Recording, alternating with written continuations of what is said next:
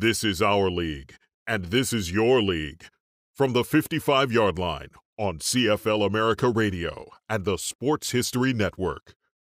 Offense, defense, toughness, coaching expertise. Edmonton had it all during a five-year period when they ruled the CFL.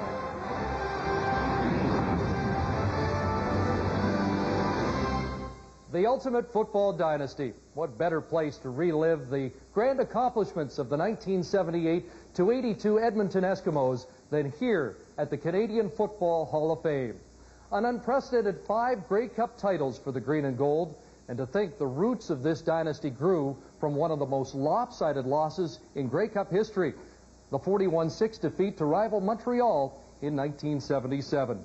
Hall of Famers Pannell, Kepley, Wilkinson, Moon, and Cutler, and a glittering supporting cast would respond to that defeat and forge a legacy of domination.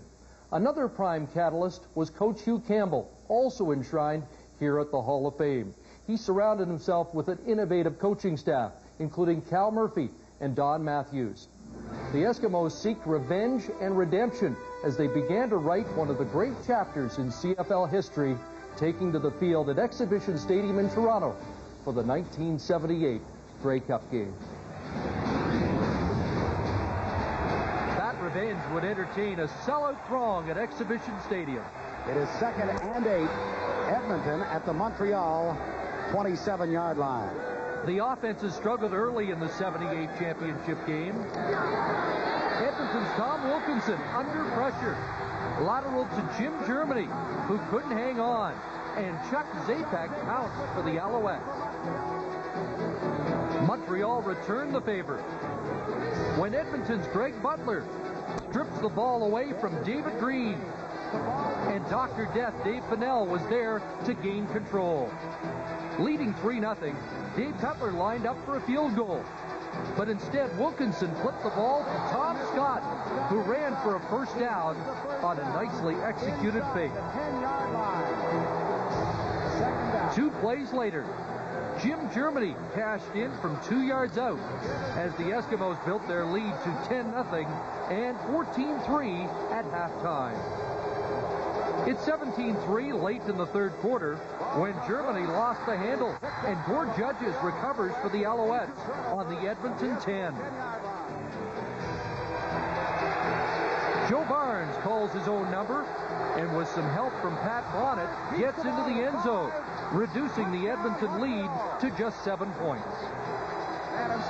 Within four with two minutes left, Sonny Wade tries for Bob Gaddis, but Larry Highbaugh knocks the ball away.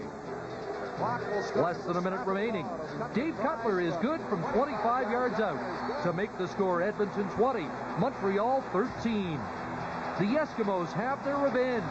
The Grey Cup is heading west to Edmonton.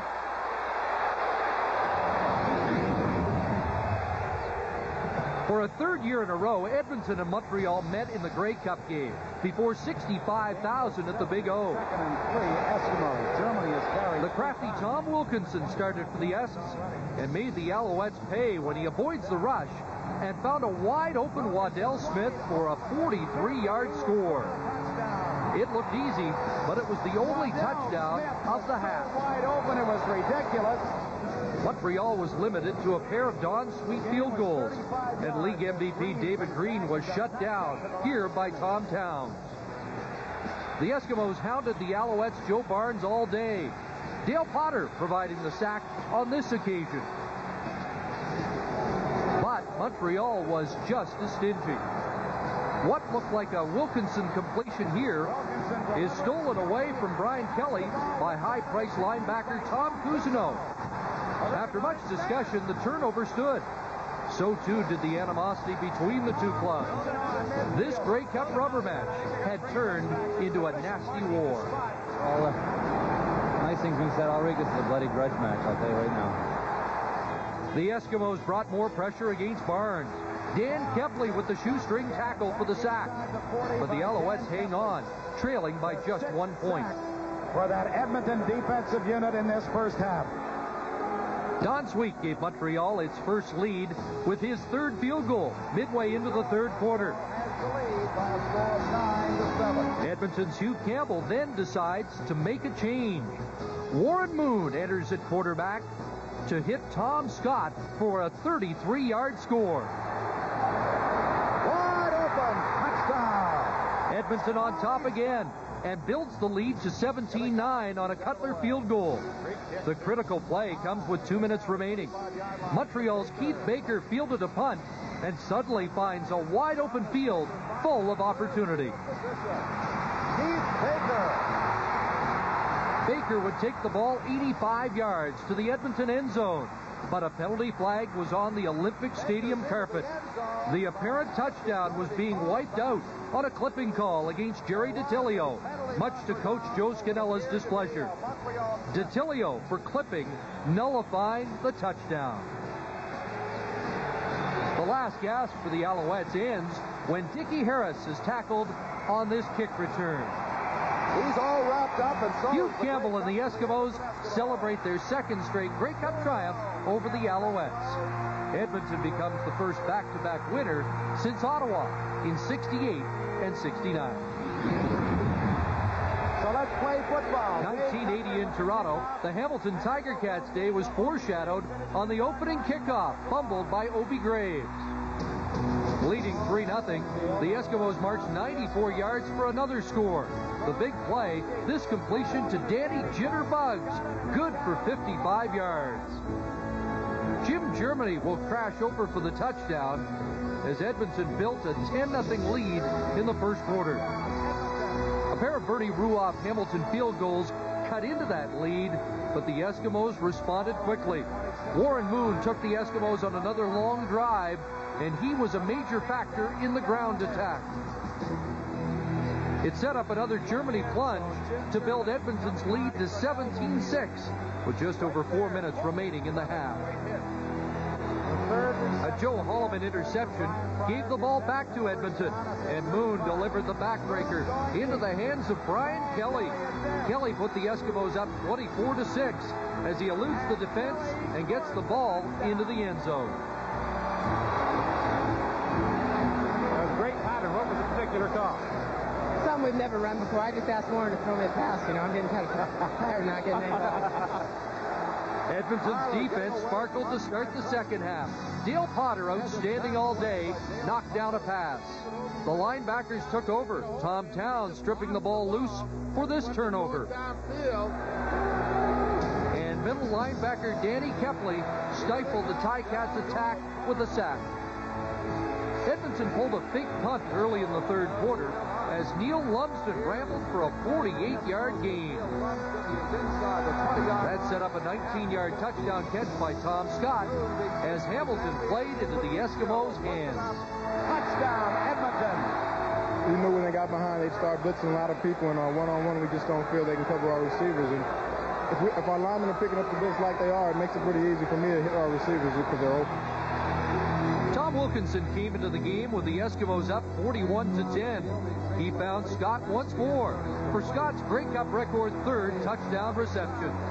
There wasn't any doubt about Edmonton's third consecutive Grey Cup triumph. When impatient fans stormed the field, the game was called with four seconds left. Edmonton Eskimos, the Dynasty Years, on Sports Saturday, will continue after a timeout for these commercial messages.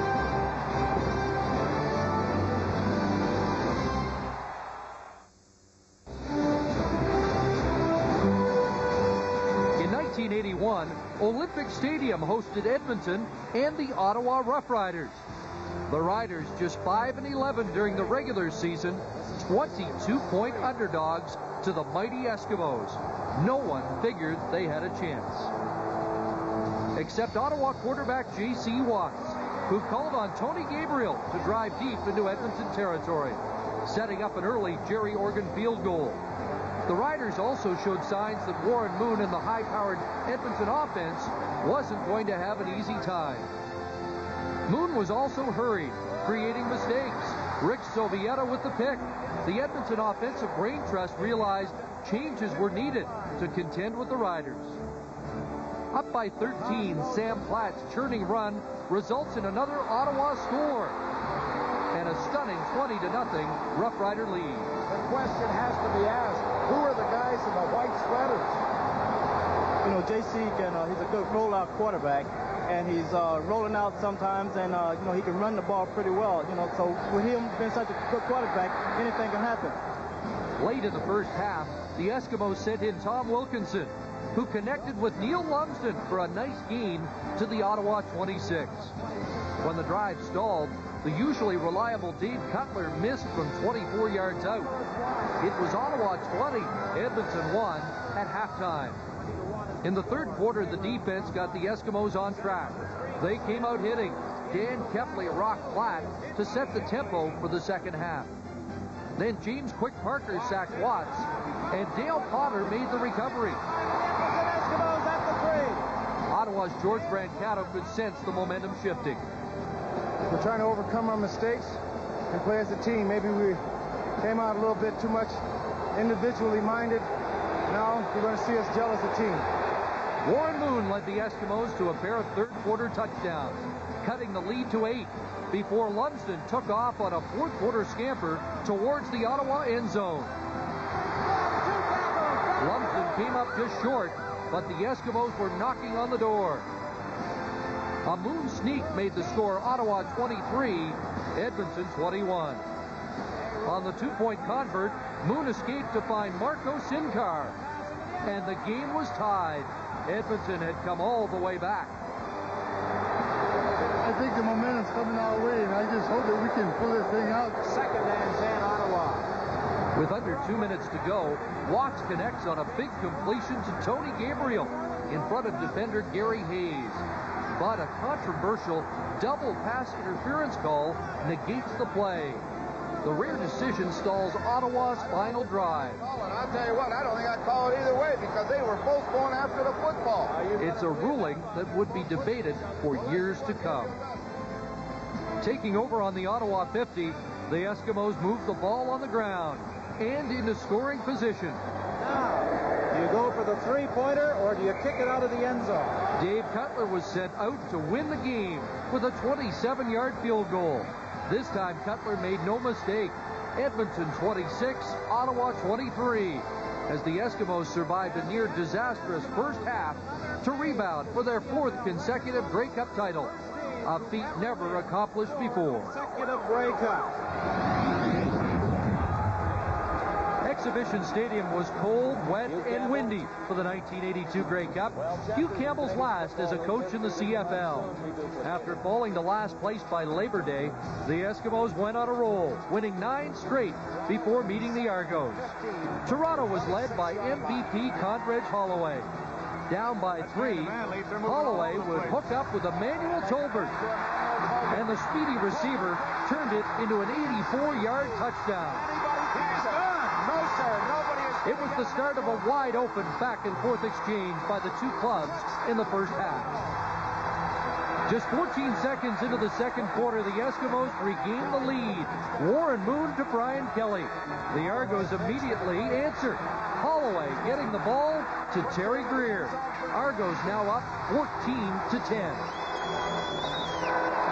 Well, right now, guys up front and uh, linebackers, we're just not going where we're supposed to be going. And uh, when you give Holloway time, he'll kill any defensive back in the league. Midway in the second quarter, Edmonton's offense has its turn again. Moon to Kelly, this time for 41 yards. And the Eskimos were on top once more, 17-14. A driving rainstorm throughout the second half curtailed the team's offenses. Late in a scoreless third quarter, the Argos looked to have a long gain on a Cedric Minter reception. But Edmonton's Gary Hayes stripped the ball, and Dan Kepley recovered and brought it back to the Argos 34. Much to the chagrin of Bob O'Billovich, the Argos head coach. Kepley came up with the football, and the Argos are protesting. Nine plays later on a third down gamble, Lumsden hit and spins for the back-breaking score. Edmonton was up 26 to 14 with just over a quarter left. The Edmonton defense defense then seals the victory. Well, we weren't getting enough pressure on him in the first half, and we straightened that out at, at the half, and now we're getting a little more pressure containing Holloway. That's the key, I think. The Eskimo. Holloway wasn't getting any time to find his receivers as the relentless Eskimo pressure gets to him again.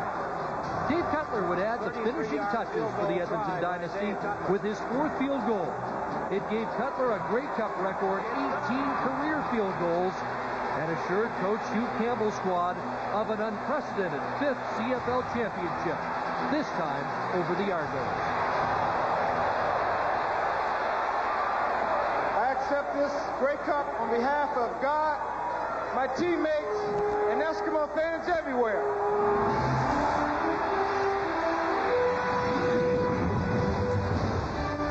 In the 82 season, the Eskimos won their final 10 games to go from last to the top once again.